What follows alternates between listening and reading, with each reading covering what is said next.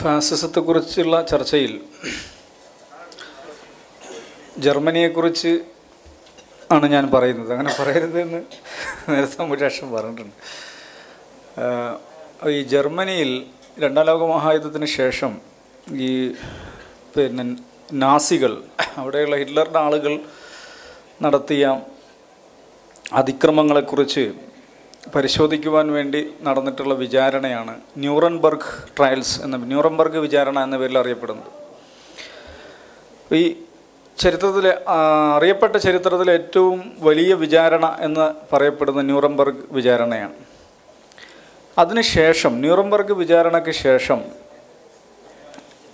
മനുഷ്യ സമൂഹം കണ്ടിട്ടുള്ള ഏറ്റവും വലിയ വിചാരണ ആയിരത്തി തൊള്ളായിരത്തി തൊണ്ണൂറുകളിൽ തൊണ്ണൂറ്റി അഞ്ച് മുതൽ ബോസ്നിയയിൽ നടന്നിട്ടുള്ള ബോസ്നിയൻ വാറുമായി ബന്ധപ്പെട്ട് നടന്നിട്ടുള്ള വിചാരണയാണ് I C C International Criminal Courts പ്രത്യേകമായ ഒരു ട്രിബ്യൂണൽ.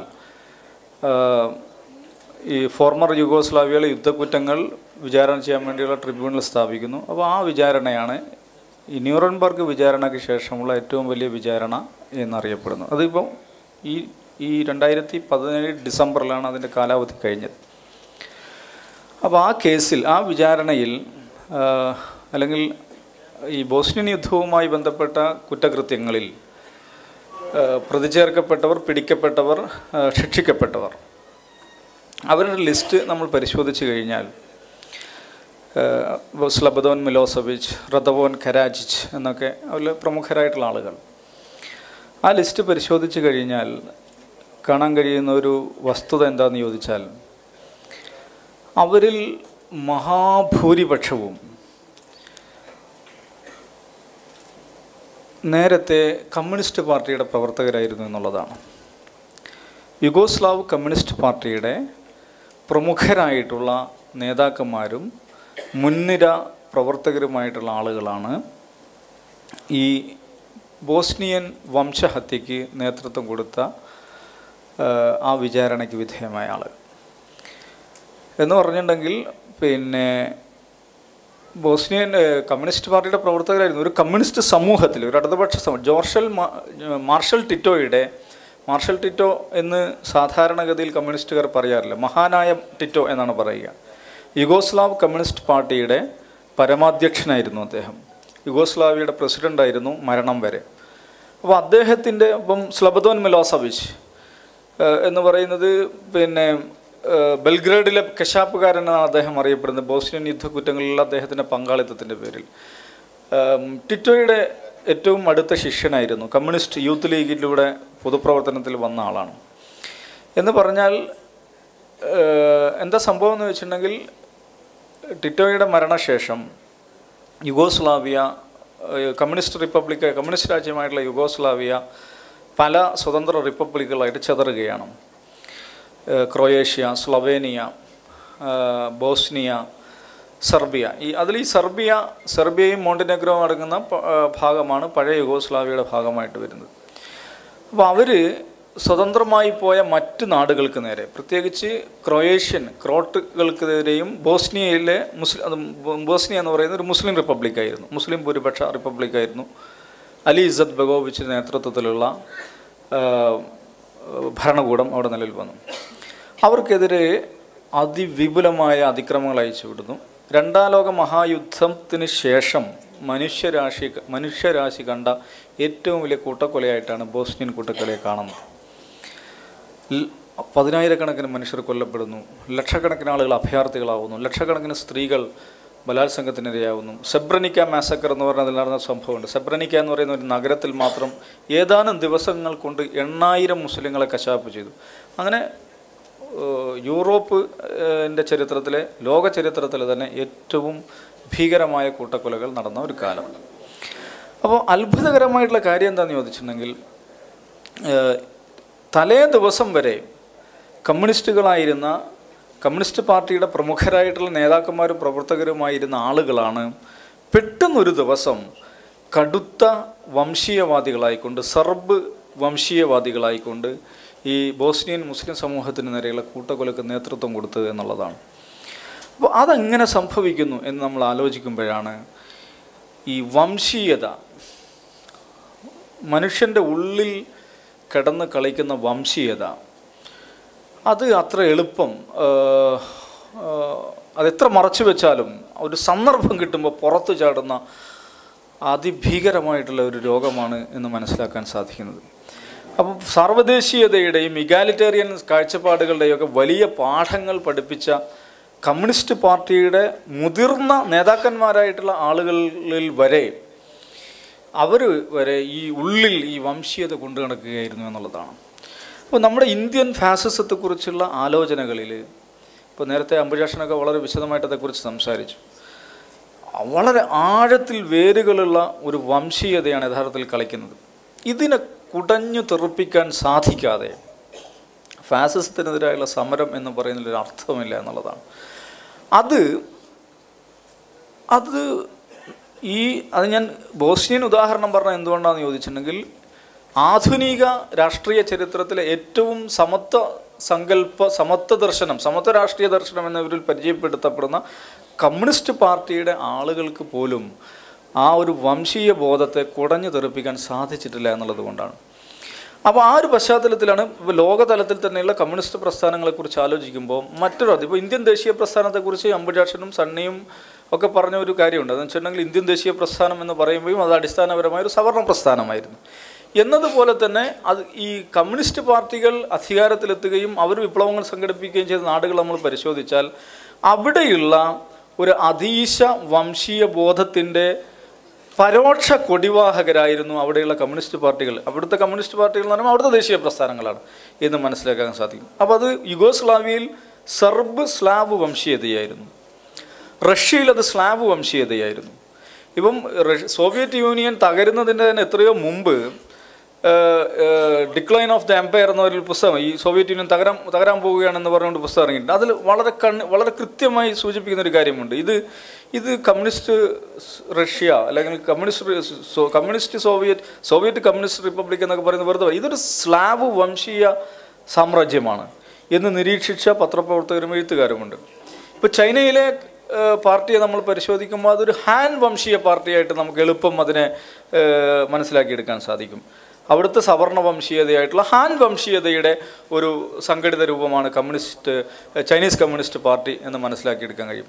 ഇപ്പോൾ ഇവിടെ അടുത്ത് ദക്ഷിണേഷ്യൻ കമ്മ്യൂണിസ്റ്റ് പാർട്ടി കമ്മ്യൂണിസ്റ്റ് പാർട്ടികളുടെ സമ്മേളനം കൊച്ചിയിൽ നടന്നു. ഞാൻ അത്ഭുതപ്പെട്ടൊരു കാര്യം അതിൽ പങ്കെടുത്ത ഒരു പാർട്ടിയാണ് പിന്നെ ജനതാ വിമുക്തി പെരുമന.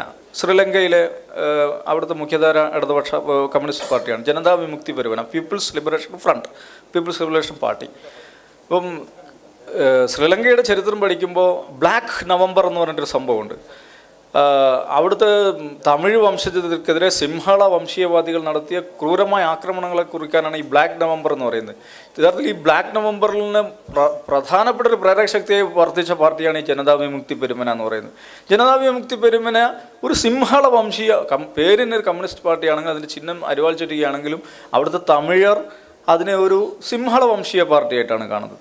അപ്പോൾ ഞാൻ പറഞ്ഞത് ഈ വംശീയതയുടെ ഭൂതത്തെ കുടഞ്ഞു തെറിപ്പിക്കുവാൻ വലിയ സമത്വ ദർശനം ആയി സ്വയം പരിചയപ്പെടുന്ന കമ്മ്യൂണിസ്റ്റ് പാർട്ടികൾക്ക് പോലും ലോക തലത്തിൽ തന്നെ സാധിച്ചിട്ടില്ല എന്നുള്ളതാണ്. അത് ഇപ്പം പിന്നെ മാർക്സിന്റെ ഇപ്പം മാർക്സ് കാറൽ മാർക്സ് പിന്നെ അദ്ദേഹത്തിന്റെ ജീവിതത്തിന്റെ അവസാന കാലത്ത് ആസ്തമ ചികിത്സയ്ക്ക് വേണ്ടി അൾജീരിയയിൽ പോകുന്നുണ്ട്. അൾജീരിയ അൾജീരിയ എന്ന് പറയുന്നത് മുസ്ലിം രാജ്യമാണ്. ഒരു അറബ് രാജ്യമാണ്.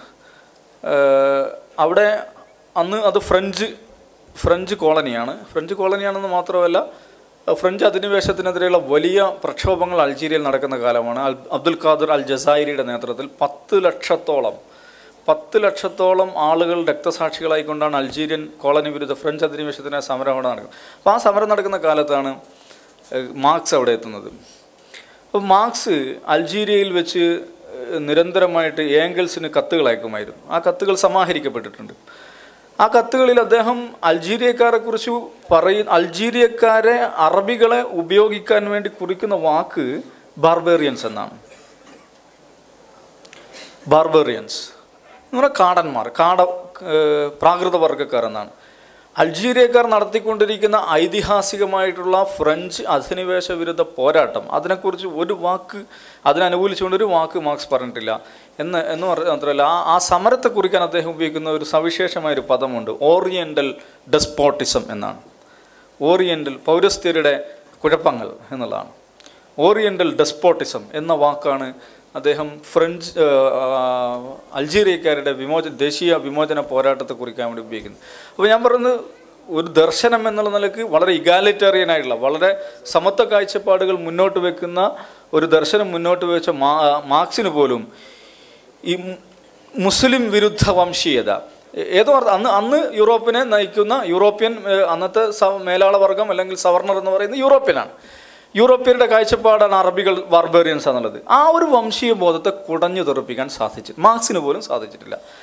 ഒരു പിന്നെ ഓരോ ദേശീയ ഭൂപ്രദേശങ്ങളും കമ്മ്യൂണിസ്റ്റ് പാർട്ടികൾ എടുത്ത് നമ്മൾ സൂക്ഷ്മമായി പരിശോധിക്കുമ്പോൾ അവർക്ക് സാധിച്ചില്ല. ഇന്ത്യയിലെ മാർക്സിസ്റ്റ് പ്രസ്ഥാനത്തിന് അത് ബ്രാഹ്മണ മാർക്സിസമാണ് എന്ന് അംബേദ്കറേറ്റുകൾ നടത്തുന്ന വിമർശനം സാധുവാകുന്നത് അവിടെയാണ്. ഇതൊരു ബ്രാഹ്മണ മാർക്സിസ്റ്റ് മാർക്സിസമാണ് ഇന്ത്യയിൽ ഇത് എന്നത് അംബേദ്കറൈറ്റുകളെ നിരന്തരമായ വിമർശനമാണ്. ആ വിമർശനം സാധുവാകുന്നത് ഈ ഒരു പശ്ചാത്തലത്തിലാണ്. ഓരോ രാജ്യത്തും ആ നിലയിൽ. ഞാനത് പറയാൻ കാരണം ദേശീയ നമ്മുടെ ദേശീയ പ്രസ്ഥാനത്തെക്കുറിച്ച് അതൊരു അതിന്റെ ഉള്ളടക്കം സവർണമായിരുന്നു എന്ന വിമർശനം ഇന്ന് നമ്മൾ ഉന്നയിക്കുവാൻ നമുക്ക് സാധിക്കുന്നത് പോലെ ഓരോ നാടുകളിലെയും ദേശീയ പ്രസ്ഥാനങ്ങളെക്കുറിച്ചും കമ്മ്യൂണിസ്റ്റ് പ്രസ്ഥാനങ്ങളെക്കുറിച്ചും അതാത് സമൂഹങ്ങളിലെ മേൽ മേൽക്കോയ്മയുള്ള വംശീയതയുടെ പരോക്ഷ രൂപങ്ങളായിരുന്നു ഈ കമ്മ്യൂണിസ്റ്റ് പ്രസ്ഥാനങ്ങളടക്കം എന്ന് മനസ്സിലാക്കാൻ നമുക്ക് സാധിക്കും. അപ്പം ഈ ഇതിനെ കൊടഞ്ഞ് തെറിപ്പിക്കുക എന്നുള്ളത് തന്നെയാണ്. ഫാസിസത്തിനെതിരായിട്ടുള്ള സമരം അല്ലെങ്കിൽ മേൽക്കോയ്മ സർവ എല്ലാ തരത്തിലുള്ള മേൽക്കോയ്മ വാദങ്ങൾക്കെതിരായിട്ടുള്ള സമരം ഈ ബോധത്തെ ഉള്ളിൽ നിന്ന് കുടഞ്ഞു തെറിപ്പിക്കുക എന്നുള്ളതാണ്. അത് വളരെ കഠിനമായിട്ടുള്ളൊരു ജോലിയാണ്. പലപ്പോഴും അറിയാതെ ഇത് ഈ ഈ ഈ ബോധം നമ്മളിൽ പലരും നമ്മളിൽ പോലും ഇങ്ങനെ വരും. ഇപ്പോൾ പിന്നെ അവരനോടുള്ള തമിഴന്മാരോടുള്ള വിദ്വേഷമായിട്ട് ഇപ്പോൾ പാണ്ടിലോറി എന്ന് പറയുമ്പോൾ ഉണ്ടാകുന്ന ഒരു ഇതുണ്ടല്ലോ. അണ്ണാച്ചി എന്നൊരു പദം പ്രയോഗിക്കുമ്പോൾ ഉണ്ടാകുന്ന തമിഴനെ വേറെ നിലയ്ക്ക് കാണുക. അവർ ഈ അന്യസം ഇപ്പോൾ ഒരു സ്ഥലത്ത് എന്തെങ്കിലും കുഴപ്പമുണ്ടായാൽ പെട്ടെന്ന് അന്യസംസ്ഥാന തൊഴിലാളികൾ എന്ന് നമ്മൾ പറയുന്ന ഇപ്പോൾ അന്യസംസ്ഥാന തൊഴിലാളി എന്ന് പറയുമ്പോൾ നമ്മുടെ സംസ്ഥാന പോലീസ് മേധാവി ഡി ജി പിയും ഒരു അന്യസംസ്ഥാന തൊഴിലാളിയാണ്. വേറെ നിലയ്ക്ക് നമ്മൾ പറയുകയാണെങ്കിൽ. അപ്പോൾ അങ്ങനെ ഈ ഈ അപരബോധം ഭയങ്കരമായിട്ട് എല്ലാ എല്ലാ സന്ദർഭങ്ങളിലും അതിങ്ങനെ ഉൽപ്പാദിപ്പിച്ചു കൊണ്ടിരിക്കുക എന്നുള്ളത് നടക്കുകയാണ്. അതിന അത് മറികടക്കുകയും ഇപ്പം മണ്ണിന്റെ മക്കൾ വാദം അതാണല്ലോ എല്ലാവരും പറയുന്നത് മണ്ണിന്റെ മക്കൾ ഈ മണ്ണിന്റെ മക്കൾ. ഈ മണ്ണിന്റെ മക്കൾ എന്ന് പറയുന്ന വാദത്തിന് എന്ത് വിശുദ്ധ ഖുർആനിൽ ഒരു ഒരു മണ്ണിന്റെ മക്കൾ വാദം പറയുന്നുണ്ട്. എന്താണ്? എല്ലാവരും ആദമിൽ നിന്നാണ്. ആദം ഈ മണ്ണിൽ നിന്നാണ്. ഇതല്ലാതെ ഒരു മണ്ണിന്റെ മകനുമില്ല. പക്ഷെ അത് ഒരർത്ഥത്തിൽ വിചിത്രമായൊരു വാദമാണ് മണ്ണിന്റെ മക്കൾ എന്ന് പറയുന്നത്. ആര് ആ മനുഷ്യ മനുഷ്യ സമൂഹത്തിന്റെ ചരിത്രം എന്ന് പറഞ്ഞിട്ടുണ്ടെങ്കിൽ സഞ്ചാരങ്ങളുടേതാണ് പങ്കുവെക്കലുകളുടേതാണ് ചരക്കുകളുടെയും സേവനങ്ങളുടെയും മനുഷ്യരുടെയും നിരന്തരമായിട്ടുള്ള സഞ്ചാരം അതിലൂടെയാണ് മനുഷ്യ സംസ്കാരം ഇവിടം വരെ എത്തിച്ചേർന്നിട്ടുള്ളത്. അറബികൾ ഇങ്ങോട്ട് വരും. വളരെ പ്രാചീനമായ കാലം മുതൽ തന്നെ അറബികളുമായുള്ള നമ്മുടെ ബന്ധം. പലതരം സംസ്കാരങ്ങളുമായുള്ള ബന്ധം.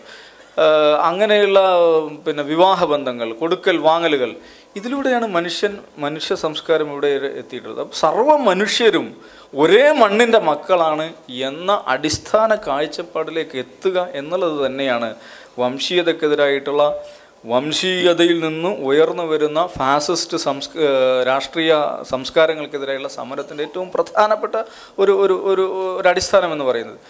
അത് ഇല്ലാതെ ഇപ്പം ഇന്ത്യ ഇന്ത്യയിലെ പ്രശ്നം എന്ന് പറഞ്ഞിട്ടുണ്ടെങ്കിൽ ഇപ്പം മതേതര പാർട്ടികൾ ഇടതുപക്ഷ പാർട്ടികളുമൊക്കെ ഇപ്പോൾ ആർ എസ് എസിനെതിരെ അല്ലെങ്കിൽ മോഡിയുടെ ഈ ഹിന്ദുത്വ ഇതിനെതിരെ സംസാരിച്ചുകൊണ്ടിരിക്കുന്നു. പക്ഷേ ഇവർ യഥാർത്ഥത്തിൽ ഇത്രയും ഇവിടം വരെ എത്തിയത് എങ്ങനെയാണ്? മുസ്ലിമിനെതിരായിട്ടുള്ള ഒരു അപരവിദ്വേഷം സൃഷ്ടിച്ചുകൊണ്ടാണ്. ഈ മുസ്ലിമിനെതിരായിട്ടുള്ള അപരവിദ്വേഷം സൃഷ്ടിക്കുന്നതിൽ ആർ എസ് എസിന് ആർ എസ് എസിന് പ്രത്യക്ഷമായിട്ടുള്ള പങ്കുണ്ടെങ്കിൽ ഇടതുപക്ഷത്തിന് പരോക്ഷമായിട്ടുള്ള പങ്ക് അതിലുണ്ട്. ഇപ്പോൾ ഇന്ത്യയിൽ ഒരു ദേശീയ അടിസ്ഥാനത്തിൽ ഒരു മുസ്ലിം അപരത്വം ഏറ്റവും ശക്തമായി ആഘോഷിക്കപ്പെട്ട ഒരു സന്ദർഭം എൺപത്തി ഏഴിലെ ഈ ശരീരത്ത് വിവാദകാലമാണ്. ആരാണ് അതിന് അതിന് അതിന് നേതൃത്വം കൊടുത്തത്? മുസ്ലിം പ്രാകൃതൻ മുസ്ലിം അപരിഷ്കൃതൻ മുസ്ലിം സ്ത്രീപീഡകൻ എന്ന അർത്ഥത്തിൽ ഈ സമൂഹത്തിന് കൊള്ളാത്ത ഈ സമൂഹത്തിന് യോജിക്കാത്ത ഒരു വൃത്തികെട്ട വർഗം എന്നുള്ള ഇപ്പം ഈ ഹിന്ദുത്വ കാഴ്ചപ്പാടിൽ സംഘപരിവാർ കാഴ്ചപ്പാടിൽ മുസ്ലിങ്ങൾ വിദേശിയാണ് അപരനാണ് രാഷ്ട്രവിരുദ്ധനാണ്. ആ നിലയിലുള്ള ഒരു ചിത്രം ആണ് അവർ സൃഷ്ടിക്കുന്നതെങ്കിൽ ഈ അപരിഷ്കൃതനും ആധുനിക സമൂഹത്തിന് കൊള്ളാത്തവനുമായ മുസ്ലിം എന്ന ചിത്രം എന്ന ഇമേജ് ദേശീയ അടിസ്ഥാനത്തിൽ ഏറ്റവും ശക്തമായി ഉന്നയിക്കപ്പെട്ട സന്ദർഭം ശരീരത്ത് വിവാദകാലമാണ്. അതിന് നേതൃത്വം കൊടുത്ത് ഇ എം ശങ്കരൻ നമ്പൂതിരിപ്പാടാണ്. യാതൊരു സംശയവുമില്ല. അപ്പോൾ മുസ്ലിം വിരുദ്ധത എന്ന് പറയുന്ന ഈ വൈകാരികത ആർ എസ് എസ് അത് വളം വലിച്ചെടുക്കുന്ന ഒരു ഒരു- ഒരു ബോധം അവിടെ നിന്നാണ്. അതുണ്ടാക്കിയെടുക്കുന്നതിൽ ഇടതുപക്ഷ പുരോഗമന മതേതര പ്രസ്ഥാനങ്ങൾക്ക് വലിയ പങ്കുണ്ട്. യഥാർത്ഥത്തിൽ അന്നത്തെ ശരീരത്ത് വിവാദ കാലത്ത് മുസ്ലിം സാം മുസ്ലിം ജീവിത ജൈവിക ജീവിതത്തെക്കുറിച്ച് സാമാന്യമായ ധാരണ ഉണ്ടായിരുന്നെങ്കിൽ ആ ശരീരത്ത് വിവാദം ഉണ്ടാകുമായിരുന്നില്ല. കാരണം അന്ന് ഷാബാനു കേസ് ഇപ്പം ഇന്ന് ഇപ്പം മുത്തലാഖുമായി ബന്ധപ്പെട്ട് വരുന്ന വിവാദങ്ങൾ. യഥാർത്ഥത്തിൽ മുത്തലാഖ് നിരോധന ബില്ലെന്ന് പറയുന്നത് മുസ്ലിം സ്ത്രീകളെ സംബന്ധിച്ചിടത്തോളം ഏറ്റവും അപകടകരമായിട്ടുള്ള ബില്ലാണ്. പക്ഷെ വലിയ എന്തോ ഒരു പുരോഗമന സംഭവമാണ് എന്ന മട്ടിലാണ് ഇവിടെയുള്ള പുരോഗമനവാദികളും ലിബറലുകളും മതേതരവാദികളൊക്കെ അതിനെ അതിനെക്കുറിച്ച് പറഞ്ഞുകൊണ്ടിരിക്കുന്നത്. ഇതേ അവസ്ഥയിൽ തന്നെയാണ് അന്ന് ശരീരത്ത് വിവാദവും ഉണ്ടായത്. മുസ്ലിം സാമൂഹ്യ ജീവിതത്തെക്കുറിച്ച് മുസ്ലിം ജൈവികതയെക്കുറിച്ച് യാതൊരു ധാരണയുമില്ലാതെ ഉണ്ടാക്കിയെടുത്ത കുറേ കാഴ്ചപ്പാടുകളുടെ പുറത്തുണ്ടായി വന്നൊരു ക്യാമ്പയിനായിരുന്നു അത്. അപ്പോൾ ഈ ഇപ്പോൾ ഇന്ത്യയിൽ മുസ്ലിം എന്ന് പറയുമ്പോൾ ഇപ്പം മുസ്ലിം ദലിത് പ്രശ്നം എന്ന് നമ്മൾ സാധാരണ പറയും. ഞാൻ അതേക്കുറിച്ച് പറയും ഈ ദലിത് മുസ്ലിം പ്രശ്നം എന്ന പ്രയോഗത്തിൽ തന്നെ അപകടമുണ്ടെന്ന് വിചാരിക്കുന്ന ഒരാളാണ് ഞാൻ. കാരണം തീർച്ചയായും ദലിതുകൾക്ക് പ്രശ്നങ്ങളുണ്ട്. ദലിത് ക്വസ്റ്റ്യൻ എന്ന് പറയും ദലിത് പ്രശ്നം എന്ന് പറയുന്ന ഒരു വിഷയമുണ്ട്. പക്ഷെ അതേസമയം തന്നെ ഈ ദലിത് പ്രശ്നം എന്നുള്ളത് ഭരണഘടനാപരമായിട്ട് അഡ്രസ്സ് ചെയ്യപ്പെട്ടിട്ടുള്ളൊരു പ്രശ്നമാണ്. കാരണം നമ്മുടെ നമ്മുടെ നമ്മുടെ ശിക്ഷാ നിയമം ഇന്ത്യൻ ശിക്ഷാ നിയമത്തിൽ വരെ ഒരു എന്താണ് S C S T atrocities act prevention act പറഞ്ഞൊരു ആക്ട് ഉണ്ട്. എന്ന് പറഞ്ഞാൽ ഒരു ഒരു മുസ്ലിമിനെ അല്ലെങ്കിൽ ഒരു ഒരു പിന്നെ ഒരു ഹിന്ദുവിനെ ഒരു നായരെ ഒരു നമ്പൂതിരിയെ തല്ലിയാൽ എന്നെ ഒരാൾ തല്ലിയാൽ അതൊരു പെറ്റി കേസാണ്. പക്ഷേ S C S T Dalit വിഭാഗത്തിൽപ്പെട്ട ഒരാളെ തല്ലിയാൽ അത് നോൺ ബൈലബിൾ ഒഫൻസാണ് ജാമ്യമില്ലാത്തൊരു കേസാണ്. കാരണം നമ്മുടെ ശിക്ഷ ക്രിമിനൽ ശിക്ഷാ നിയമം വരെ ദലിത് ക്വസ്റ്റ്യൻ എന്ന് പറയുന്ന പ്രശ്നത്തെ അഡ്രസ്സ് ചെയ്തിട്ടുണ്ട്. നമ്മുടെ ലെജിസ്ല നിയമനിർമ്മാണ സഭകളിൽ ദലിതർക്ക് പിന്നെ സംവരണമുണ്ട് എസ് സി എസ് ടി സംവരണമുണ്ട്. ഇതൊക്കെ അവരുടെ പ്രശ്നങ്ങൾ പരിഹരിച്ചു കഴിഞ്ഞു അവർക്ക് അതുകൊണ്ട് പ്രശ്നങ്ങളില്ല എന്നല്ല ഞാൻ പറയുന്നത്. പക്ഷെ സാങ്കേതികമായിട്ടെങ്കിലും ഭരണഘടനാപരമായി അഡ്രസ്സ് ചെയ്യപ്പെട്ടിട്ടുള്ള ഒരു പ്രശ്നമാണ് ദളിത് പ്രശ്നം എന്ന് പറയുന്നത്. പക്ഷേ മുസ്ലിം പ്രശ്നം അങ്ങനെയല്ല. മുസ്ലിം പ്രശ്നം അഡ്രസ്സ് ചെയ്യപ്പെട്ടിട്ടില്ല എന്ന് മാത്രമല്ല മുസ്ലിം പ്രശ്നം എന്ന് പറഞ്ഞൊരു പ്രശ്നം ഒരു മുസ്ലിം ക്വസ്റ്റ്യൻ എന്ന് പറഞ്ഞൊരു ക്വസ്റ്റ്യൻ ഉണ്ട് എന്ന് ആരെങ്കിലും പറഞ്ഞാൽ അവൻ വരെ അപകടസ്ഥാനത്ത് നിർത്തപ്പെടുന്ന അവൻ തീവ്രവാദിയാക്കപ്പെടുന്ന ഒരു സാഹചര്യമാണുള്ളത്. അപ്പോൾ ദലിത് പ്രശ്നം മുസ്ലിം പ്രശ്നം എന്നുള്ളത് സവിശേഷമായ പ്രശ്നങ്ങൾ തന്നെയാണ്. പക്ഷേ ദലിത് മുസ്ലിം പ്രശ്നം എന്നൊറ്റ വാക്കിൽ പറയാൻ സാധിക്കാത്ത വിധം മുസ്ലിം പ്രശ്നം എന്ന് പറയുന്നത് അതി മുസ്ലിം ക്വസ്റ്റ്യൻ എന്ന് പറയുന്നത് അല്ലെങ്കിൽ ഒരു- മുസ്ലിം നേരിടുന്ന ചോദ്യങ്ങൾ എന്ന് പറയുന്നത് അപകടകരമായിട്ടുള്ള ചോദ്യങ്ങളാണ്. അപ്പോൾ ജിഗ്നേഷ് മേവാനിയെ ഭയങ്കരമായിട്ട് സെലിബ്രേറ്റ് ചെയ്യും. നമ്മുടെ സെക്യുലർ മീഡിയ വരെ സെലിബ്രേറ്റ് ചെയ്യും. പക്ഷേ ജിഗ്നേഷ് മേവാനിക്ക് കിട്ടുന്ന പരിഗണന അസദുദ്ദീൻ ഒവൈസിക്ക് കിട്ടുകയില്ല. ജിഗ്നേഷ് മേവാനി മുസ്ലിം ദളിത് ക്വസ്റ്റ്യൻ മുന്നോട്ട് വെച്ച് ഉയർന്നു വന്ന ഒരു രാഷ്ട്രീയ നേതാവാണ്. പക്ഷെ മുസ്ലിം ക്വസ്റ്റ്യൻ നിരന്തരമായി ഉയർത്തിക്കൊണ്ടിരിക്കുന്ന രാഷ്ട്രീയ നേതാവാണ് അസദുദ്ദീൻ ഒവൈസി അല്ലെങ്കിൽ അബ്ദുൽ നാസർ മാദിനി. അവർക്കൊരിക്കലും ജിഗ്നേഷ് മേവാനിക്ക് കിട്ടിയ ഒരു പരിഗണന മാധ്യമ പരിഗണന അല്ലെങ്കിൽ സെക്യുലർ പരിഗണന അല്ലെങ്കിൽ മുഖ്യധാര പരിഗണന ലഭിക്കുകയില്ല.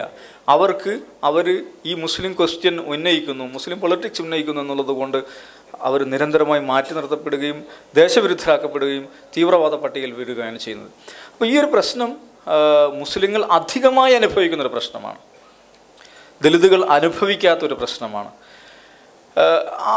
ഈ ഈ ഒരു അവസ്ഥയിലേക്ക് മുസ്ലിം മുസ്ലിങ്ങളെക്കുറിച്ചുള്ള ബോധത്തെ വളർത്തിയെടുക്കുന്നതിൽ സംഘപരിവാറിന് സവിശേഷമായ പങ്കുണ്ട്. അതേപോലെയുള്ള പങ്ക് ഇവിടെയുള്ള പുരോഗമന ലിബറൽ മതേതര സമൂഹത്തിനും ബുദ്ധിജീവികൾക്കും അവരുടെ മാധ്യമങ്ങൾക്കും ഉണ്ട് എന്നുള്ളതാണ് ഞാൻ പറയുന്ന പോയിന്റ് അപ്പോൾ ഇത് ഇത് തിരിച്ചറിയുക എന്നുള്ളതാണ്. ഒന്നാമത്തെ കാര്യം ഈ വംശ വംശീയത എന്ന് പറയുന്ന ഈ പിശാചിനെ അതിന് എന്റെ ഉള്ളിൽ വംശീയതയുണ്ട് എന്ന് എന്ന് തിരിച്ചറിവുണ്ടാവുക എന്നാണ് പ്രധാനം.